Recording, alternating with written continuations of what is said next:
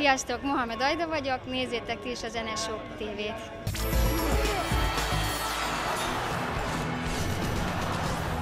Hétfőn a budapesti szimacsarnokban megkezdődik a jubileumi századik vívó világbajnokság.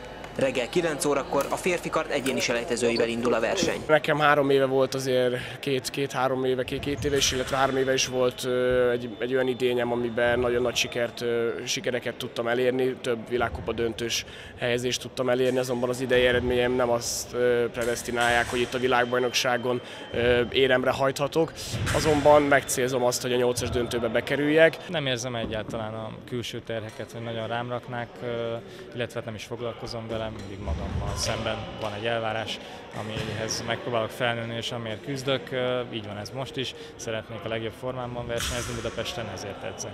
3.12-től már a női tör egyéni kvalifikációjával folytatódik a VB. Az egyre jobb formát mutató magyar lányok bizakodóak. Hát szeretnénk minél jobb formába kerülni.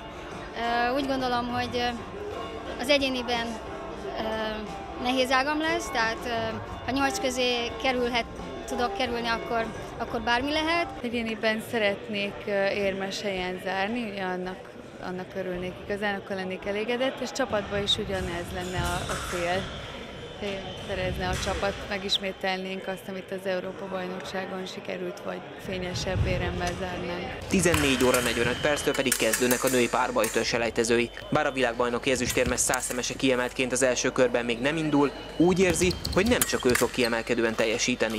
Szeretném kihozni magamból a maximumot, egy jó ága, és hát érmet, érmeket, tehát a csapattól is, mert, mert hogyha elfegyelmezetten jól vívunk, akkor, akkor tényleg bárkit meg tudunk verni, és hát tényleg az, hogy, hogy, hogy jó napunk legyen a csapatversenyen. A hétfői selejtezőkben 9 magyarért szoríthatunk, minden fegyvernemben 3-3 vívónk lép A férfi kard, a női tör és párbajtör döntőit szerdán este rendezik.